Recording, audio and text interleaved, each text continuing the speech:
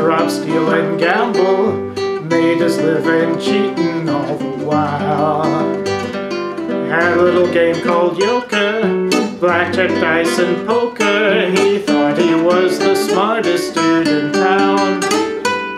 But I found out last Monday, Campbell got locked up Sunday. They got him in the jailhouse down in town.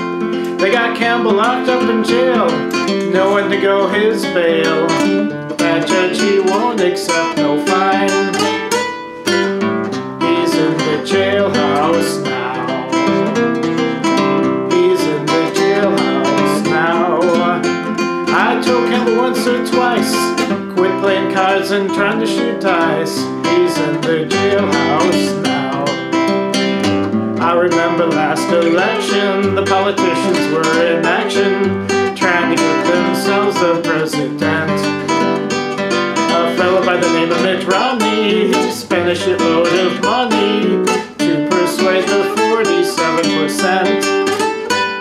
Now my brother Bill's a voter, brother Bill's a big promoter, he's always looking for some good advice.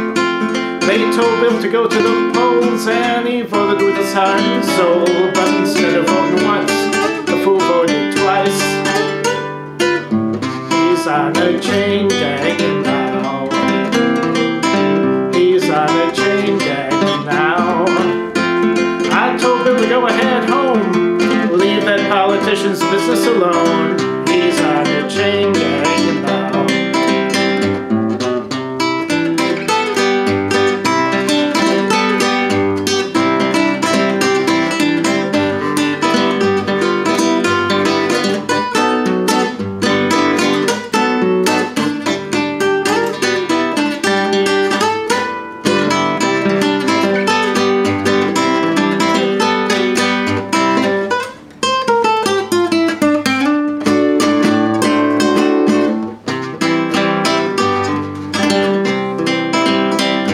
I came into town last Friday, met a little girl named Ivy.